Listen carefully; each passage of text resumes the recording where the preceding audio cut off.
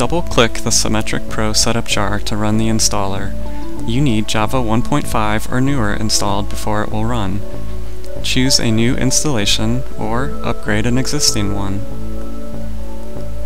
Read through the license agreement and accept the terms before continuing.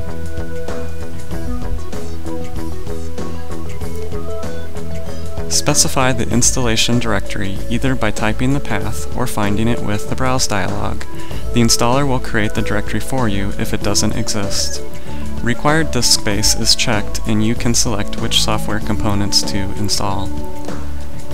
The server communicates using HTTP by default, but you can select SSL to add encryption. JMX is an optional remote management interface. Your installation settings are summarized before the software is installed. Files are copied to the directory you specified until the installer indicates it is finished. You can choose to create shortcuts in the Start menu, which make it easier to run the program. An uninstaller is created for you in case you need to remove the software. An optional script can be saved for automating additional installations.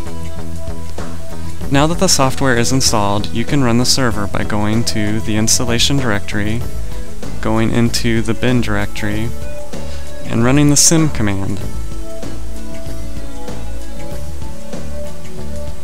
It displays a few short messages at startup, including the port numbers being used. The output can also be found in the logs directory.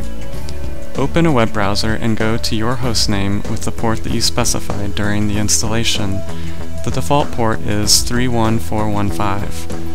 The Web Management Console will display a welcome screen and walk you through your first configuration steps.